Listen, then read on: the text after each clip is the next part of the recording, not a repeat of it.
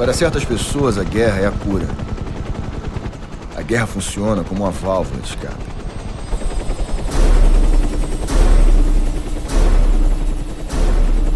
Comigo foi sempre assim, parceiro.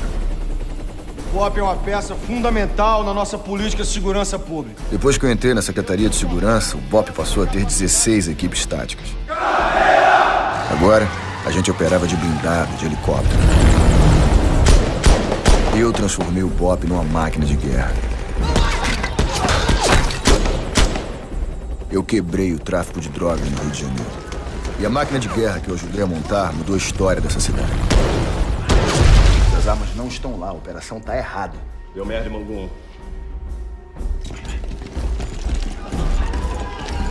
André, deixa a patrulha em posição, mas não faz nada até eu mandar, tá entendendo?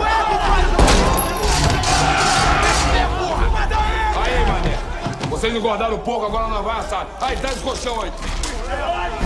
Se não entrar, coronel, vai ter uma carnificina aí dentro. Carnificina já começou. Eu sei, sabe? eu Carnificina, sei. eu não quero ter que tirar o seu corpo de lá de dentro. Coronel, o que eu quero que você entenda é que minha entrada foi autorizada pelo seu chefe. Eu vou entrar. Só que eu demorei muito pra perceber quem eram os meus verdadeiros inimigos. E numa guerra, isso pode ser fatal. Fernando, não pode botar o dedo no caveira, porra. Ordem minha. A verdade é que a minha guerra contra o sistema estava só começando.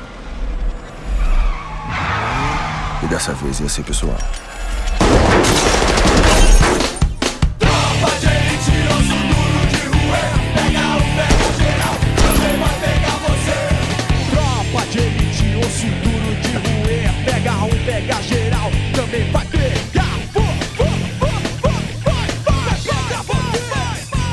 Deixa que eu assuma a responsabilidade sozinho.